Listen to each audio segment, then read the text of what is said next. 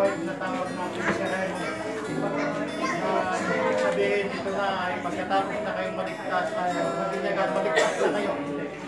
Ito ay isang step para mag-umpisa ang ating buhay. Tawag natin pag-ibig, pag-ibisa para hindi tayo mahiya na ipaalam sa publiko na tayo ay sumunod sa atin. Kaya may dalawa tayong pagbibinyag. Ah, may dalawa.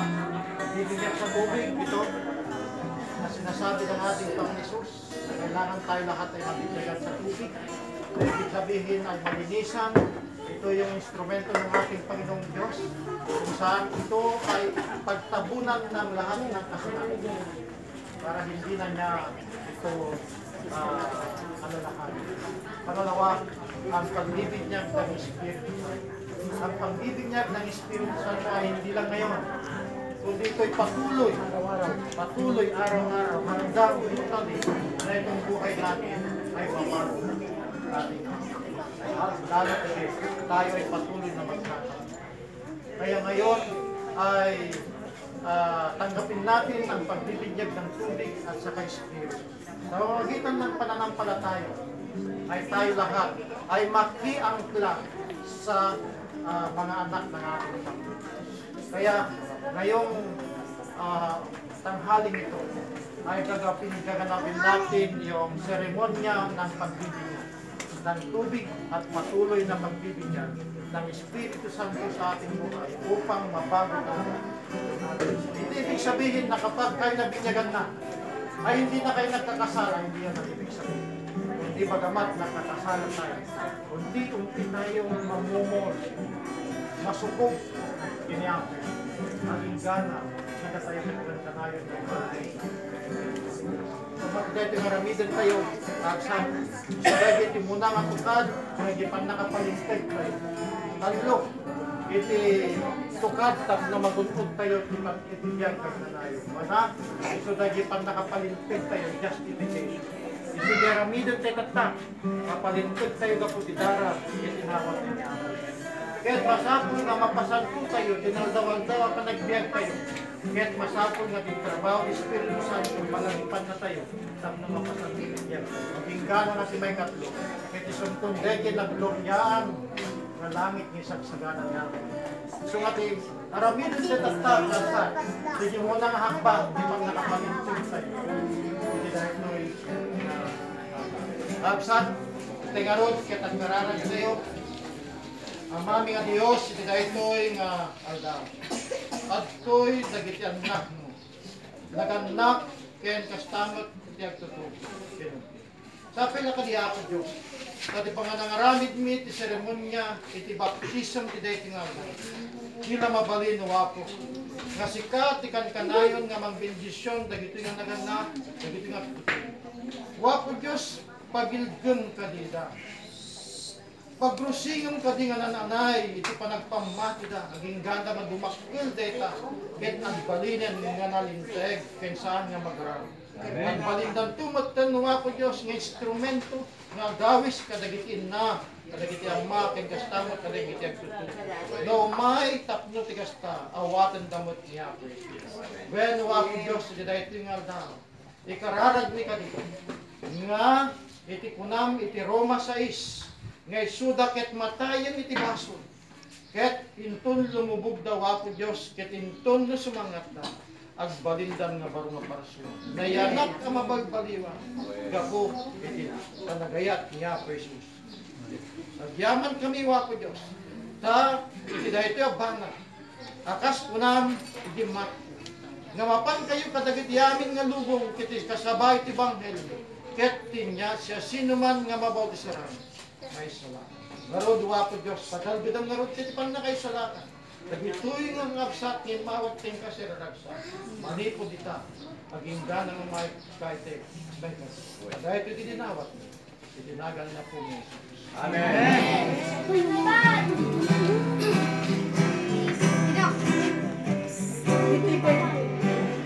Dito kayo, dito kayo.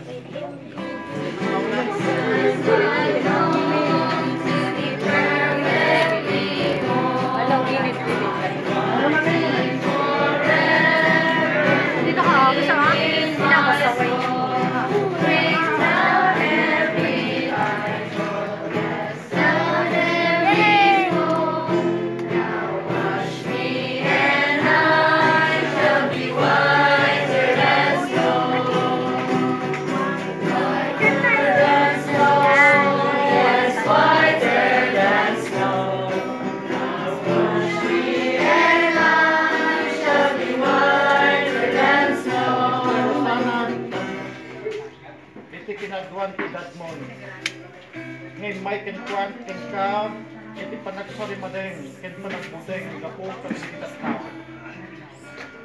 Nga rod iti daytoy nga daw, sa munging titked, iti, iti riknam, iti kusong, iti panangawat kini Apo Jesus. Akas mangisalakan ken manumot mo, ken mangugas ka dagiti basbasol mo. Nga rod iti daytoy nga siya akas ministro ti Ebanghelyo, bautisaran ka itinagan ti Ama, itinagan ti Anak, ken tinagan ti Espiritu Santo, nga mangdalos ken mang manggugur ken mangpakawanen ka dagiti basbaso. Tapno yag kan nga nalingteg ti matang ti tao ken ken ato Dios. Taday ti dawat ni iti napotay kunay nga nagan na po. Sister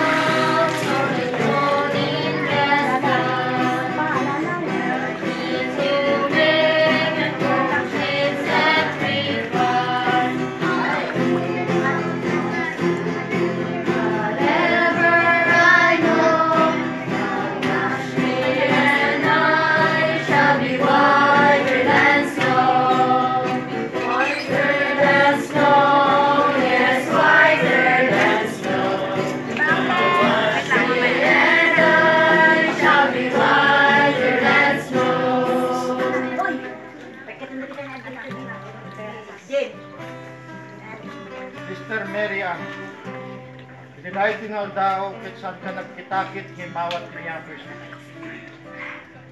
Saan ka nga nagkitakit iti panangpalagip ti Espiritu Santo kanya.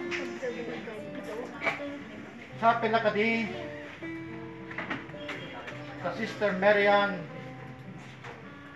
Ann, nga tinagan mo ket may suratan ti libro ti Biya. Kapo ta sika tinawat mo niya Apo Jesus sa kasmang salatan ti manlubot. Narod, siya ti ministro ti Ebanghelyo. Kau ti sarang ka, tinagan ti Ama. Ti anak, ken Espiritu Santo. Ngayon ti pagkaugasan ti basbaso mo.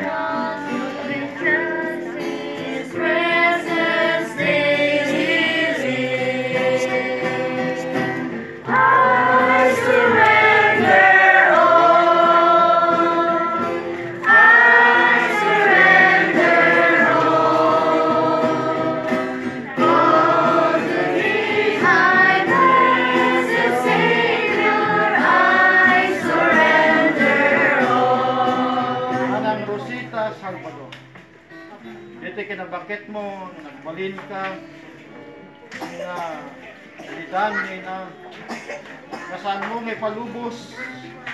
Na sikat isuro dagiti apukom kinanak mo.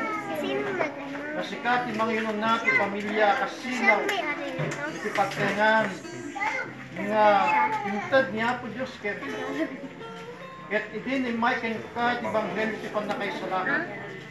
Binawat mo niya Apo Jesus nga iso ti manlubot ken mangisalakan. Ket iparangaran mo daytoy iti publiko nga sikan ket agbalin nga baro nga parsuwa. Iti matang niya Apo Dios.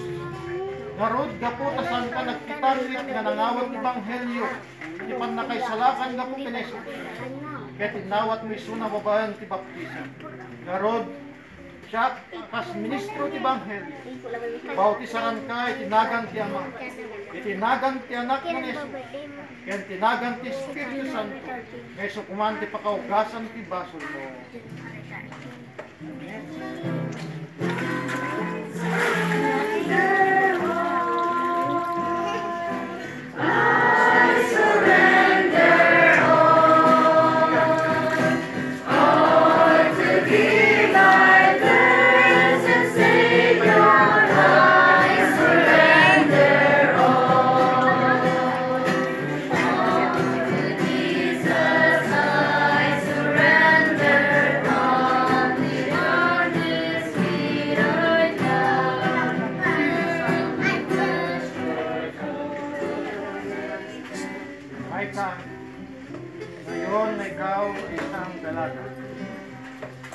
Kapagamat maraming tukso, maraming pagsubok sa buhay.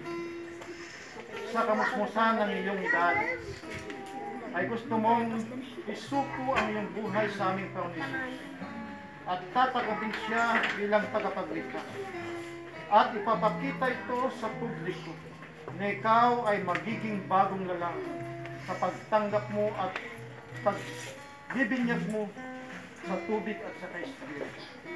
Ngayon, bilang ministro ng Ebanghelyo, ay bibinyagan kita sa pangalan ng Ama, sa pangalan ng Anak, at sa pangalan ng Espiritu Santo, nawa ang iyong pangalan ay may sulat na sa libro ng buhay. Ngayon at magpakailanman, aming hiling sa pangalan ni Jesus. Wala